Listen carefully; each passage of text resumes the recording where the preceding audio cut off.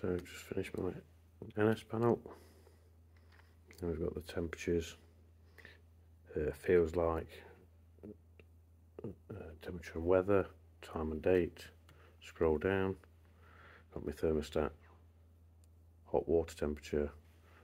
This button turns the hot water on. This button turns the heating on. Heating on. Heating off.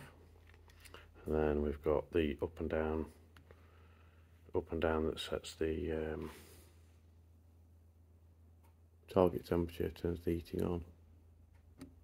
Target temperature turns the heating off.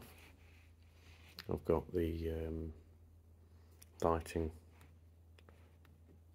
switch kitchen lights on and off the unit lights and so on.